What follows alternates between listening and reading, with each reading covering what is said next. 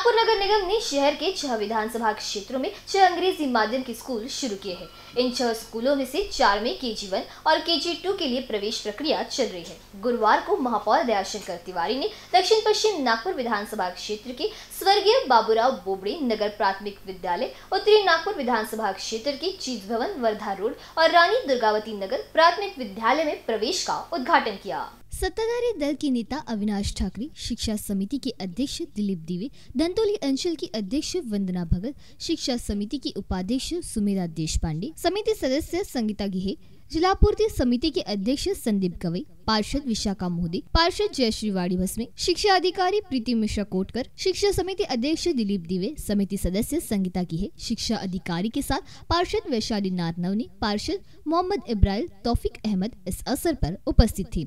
इस अवसर पर बोलते हुए महापौर ने कहा कि नागपुर नगर निगम के विद्यालयों के उत्कृष्ट भवनों के बावजूद इन विद्यालयों के प्रति विद्यार्थियों का रुझान कम रहा। इसका मुख्य कारण मराठी, हिंदी और उर्दू माध्यमों के साथ साथ अंग्रेज़ी माध्यम के स्कूलों की कमी है। यह कारण सामने आते ही उत्तरी नागपुर में जीएम बनतवाला के नाम से एक अंग्रेज़ी माध्यम का स्कूल शुरू किया गया। अंग्रेज़ी माध्यम की शुरुआत के साथ इस स्कूल में छात्रों की संख्या 300 से बढ़कर 350 हो गई और सीधे 1700 तक पहुँच गई। उल्लेखनीय है कि इस वर्ष दसवीं कक्षा के परिणाम में अंग्रेज़ी माध्यम के छात्र ने निगम के सभी स्कूलों में पचानवे प्रतिशत अंकों के साथ सर्वाधिक अंक प्राप्त किए हैं। नगर निगम ने न केवल स्कूल शुरू किया, बल्कि छात्रों को स्कूल में अच्छी शिक्षा मिले, इस पर भी विशेष ध्यान दिया। नतीजा आज भी वही है। शहर के अन्य हिस्सों के छात्रों को भी गुणवत्तापूर्ण अंग्रेज़ी माध्यम की शिक्षा मिलनी चाहिए। नगर निगम ने शहर में छह अंग्रेज़ी माध्यम के स्कूल इस उद्देश्य से शुरू किए हैं कि कोई भी छात्र अकेले गरीबी के कारण